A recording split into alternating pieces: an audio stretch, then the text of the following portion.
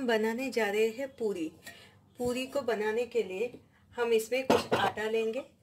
इसको मैदे से भी आप बना सकते हैं और आटे से भी बना सकते हैं। यहाँ पर मैं इतनी सी ही आटा ले रही हूँ और इसमें थोड़ा सा नमक हम डालेंगे। मैं इतना सा ही नमक ले रही हूँ।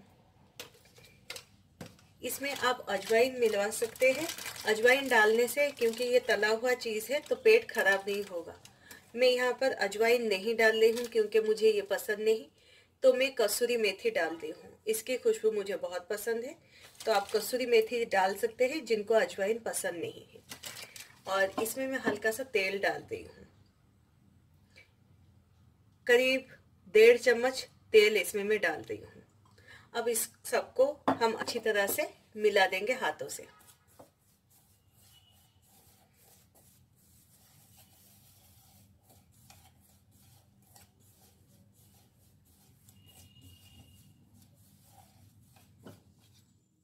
हैं, मैंने तेल को आटे में मिला दिया है। ये अच्छे से ब्रेड क्रम की तरह लग रहा है।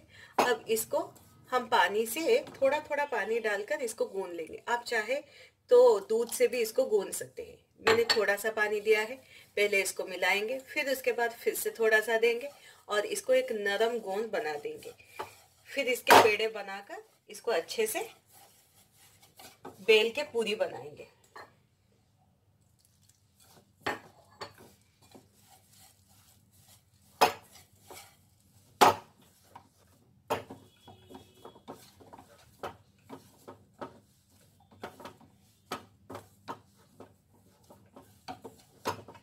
ये देखिए धीरे धीरे जुड़ने लगा है। अब हम इसको अच्छी तरह से, इसी तरह से मसल मसल के बना देंगे।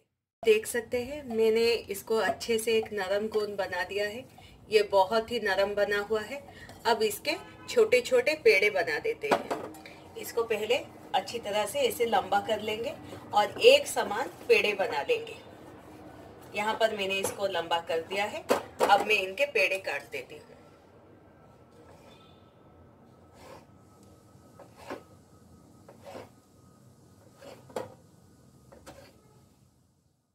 सारे पेड़े बना दिए हैं। मैंने इतने छोटे छोटे पेड़े बनाए हैं। अब इसको आटा ना लेकर तेल से ही हमें इसको बेलना है। तेल से बेलने से इसको जब हम तलेंगे, तब इसमें कुछ भी किट्टू तेल में नहीं जाएगा। तो इसको हल्का सा तेल ऐसे लगा देंगे और थोड़ा सा बेलन में भी लगा देंगे, ताकि ये इस पर चिपके ना। और फिर इसको हल्के हाथों से बेल लेंगे। इसको जब बेलेंगे तो रोटी की तरह एकदम पतला नहीं बेलेंगे। इसमें हल्का सा इस तरह से हल्का सा मोटापन रहने के लिए देंगे।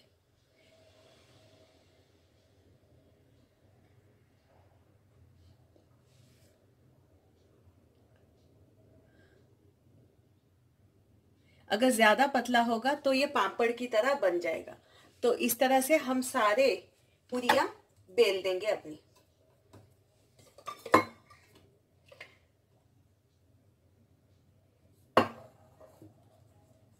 तो मैं हल्का सा तेल ऐसे लगा लगा कर सारी पूरियाँ बेल देती हूँ।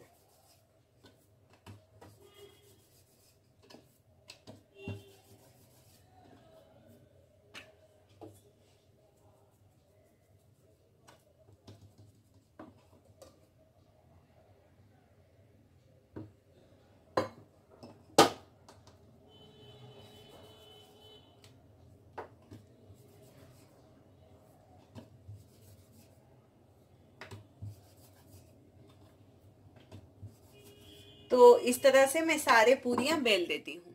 देख सकते हैं, मैंने सारे पूरियाँ बेल लिए हैं और यहाँ पर मैंने तेल भी चढ़ा दिया है गर्म होने के लिए। अब ये गर्म भी हो चुका है। अगर आप हाथ ऐसे दूर से रखेंगे तो गर्म भाप आपके हाथों में लग रहा है। तो ये गर्म हो चुका है। हम पूरियाँ एक कोने से डाल के देखेंगे। अगर ये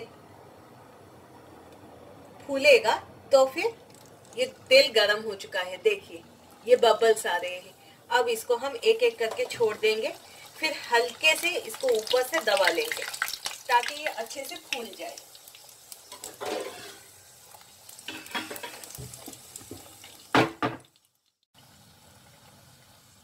ये एक तरफ़ से हो गया है, अब मैंने उल्टा कर दिया है, अब इसे दूसरी तरफ़ से भी होने देते हैं। ये देखिए, ये फूल के बन चुका है, अब हम अपना दूसरा वाला भी इसमें छोड़ेंगे। इस तरह से आराम से हम एक एक करके फ्राई कर लेंगे। ये जब दोनों तरफ़ से इसे हल्के भूरे रंग हो जाए, तब इसको निकालिएगा। उससे पहले निकालेंगे तो ये कच्चा रहेगा और कुछ देर के बाद ये नरम भी हो जाएगा।